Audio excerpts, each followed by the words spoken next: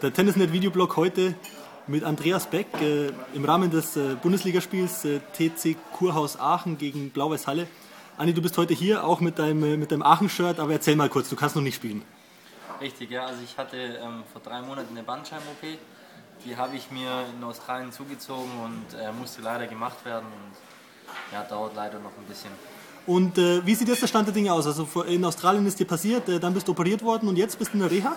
Ich bin jetzt in der Reha, ich bin erfolgreich in München operiert worden, äh, befinde mich jetzt gerade im Aufbautraining in Stuttgart, äh, habe vor drei Tagen erstmal 20 Minuten Bälle geschlagen und der Körper verträgt es eigentlich relativ gut.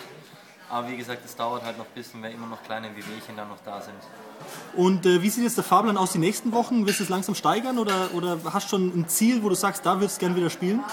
Also mein mein Ziel ist, äh, Ende September, Anfang Oktober wieder Turniere zu spielen. Es kommt natürlich darauf an, wie der Körper reagiert, aber äh, ich denke mal, dass ich von Woche zu Woche dann auf jeden Fall steigern kann. Super, Andi. Und äh, ja, was sagen die Ärzte? Also du, du bist jetzt mit dem Heilungsprozess zufrieden. Ähm, die Operation ist gut verlaufen, ne? Ja, alles gut. Ich war ähm, am Dienstag beim Dr. Müller-Wohlfahrt zur Nachuntersuchung und äh, habe das okay bekommen, dass ich mehr oder dass ich steigern darf und alle sind sehr zufrieden. Wo trainierst du jetzt im Moment, wenn ich fragen darf? Beim Württembergischen Tennisbund, immer noch wie immer in Stammheim. Andi, wir wünschen dir alles Gute fürs Comeback und äh, dann hoffen wir, dass es Ende des Jahres dann äh, wieder klappt. Ne? Alles Gute. Danke.